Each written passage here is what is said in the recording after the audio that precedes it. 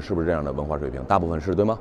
那好，我想问一句了，二零一四年中国收藏界、瓷器界卖出来个很天价的东西，就这么大小一瓷杯子，卖了二点八一个亿港币，叫明成化斗彩鸡缸杯，你听说过对吗？你听说过斗彩鸡缸杯？你听没听说过斗彩葡萄杯、斗彩铃铛杯、斗彩梵文杯、斗彩天字罐、斗彩万字罐、斗彩英系杯和斗彩三球杯？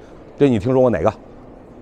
啊，你都没听说过，你这是高等文化水平都没听说过，你凭什么指望那高中文化水平的解放军战士知道这些东西？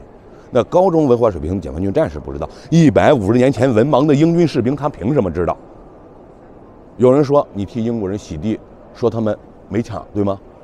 真不是，他们抢了，绝对抢。抢什么样的？姑娘，你戴的这种，你戴的这种，四金四银，闪闪发光，带珍珠带宝石的，为什么抢回家就能换钱？瓷器、青铜器，第一不认知，第二不好携带。你见过谁打仗背着一筐瓷器去的？那怎么流失海外呢？其实最主要的原因是不孝子孙卖出来的多。我说两个人的名字，你们估计都知道。第一，慈禧老佛爷，一九零一年跑西安，到了西安没钱过日子，拿宫里的文物压到了一个地方叫盐业银行换钱了。第二名叫爱新觉罗溥仪，听说过吗？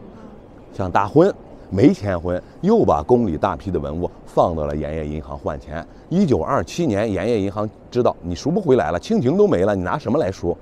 拿出来拍卖的时候，我知道英国人买走的精美的瓷器最少九十六件，皇上、太后都这么干。八旗子弟、王公贵族过不下日子的时候，是不是得卖老家底？见没见过这样？哎，太君，我这元青花大碗，我两万大洋收的，现在我缺钱，我一万五卖给你，行不行？其实它是换底儿的，只值一千大洋，有这种人吗？这是我们文物流失海外最主要的途径，特别是博物馆的。为什么博物馆的收藏品主要以瓷器和青铜器为主，对吗？那金银珠宝去哪儿了呢？很简单，我弄一筐子金银珠宝，我往回带不好带怎么办？我找个人熔了，打成金片、金块、金叶，是不是好带了？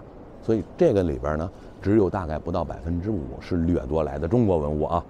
所以一会儿到了中国馆，到了瓷器馆，大家别着急，别生气，别砸玻璃啊，大部分不是抢的。所以一定要给大家说清楚，因为我在知乎上和他们聊过，后来把帖子都删了。